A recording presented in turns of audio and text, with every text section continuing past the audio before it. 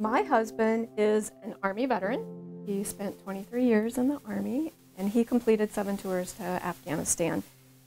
I can remember our first date when he said, I have PTSD, I'm a recovering alcoholic, and I live with my parents. And I said, Sign me up. I started thinking about in my hometown, we were not seen.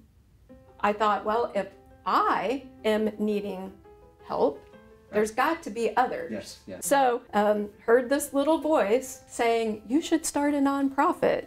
Only later did I come out to DC and was around so many other caregivers who got me. There were no questions, no judgment.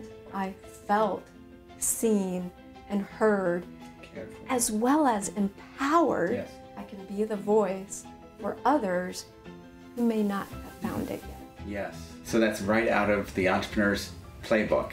Pretty much.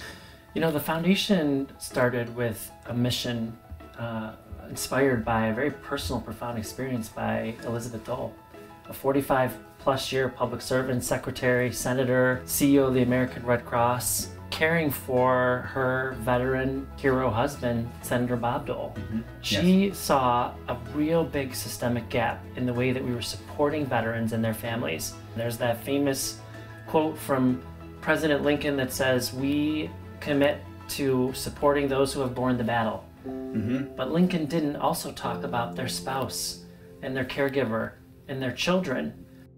And the growth of this caregiver movement from the quiet hallways of Walter Reed to this grand hall tonight is what gives me hope that our country will one day provide every hidden hero the support they need.